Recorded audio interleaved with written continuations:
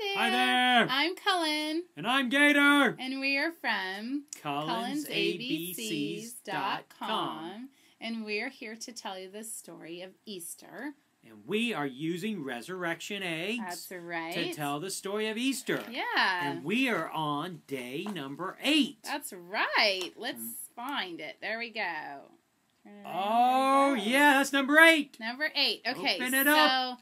Let's see what is in here. It's getting kind of sad, right, mm-hmm. Cullen? Yeah, it is. It is a uh, kind of a sad part of the story, definitely.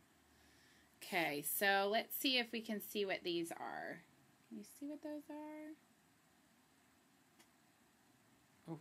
Can you see? Those are more pokey things. Those are nails. Yeah, nails. Okay, so remember two days ago they put the crown of Thorns. thorns on Jesus' head, right?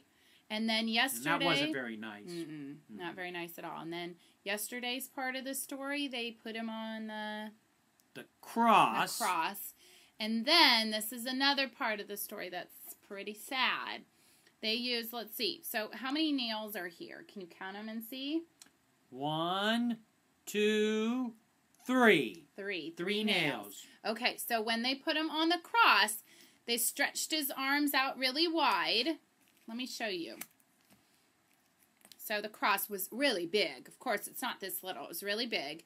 And they stretched his arms out from here to here. And then his head would be up here and his feet would be down here at the bottom. Okay. Okay? So then when his hands were stretched out here, they put a nail through his hand and through the cross. So it went right through his hand to the other That side. really hurt. Yeah, and then they put one big one, long one, in his feet because his feet, one foot was on top of the other, and they put a long nail Oh. in. Yeah. So that's what happened on that day. They did that in in this egg, in egg number eight. But Jesus let him do it for us, right? Yeah, yeah, that's the really good part, right, Gator? Yeah. because Jesus let him do it for us. Because Jesus died for us on the cross to save us from our sins.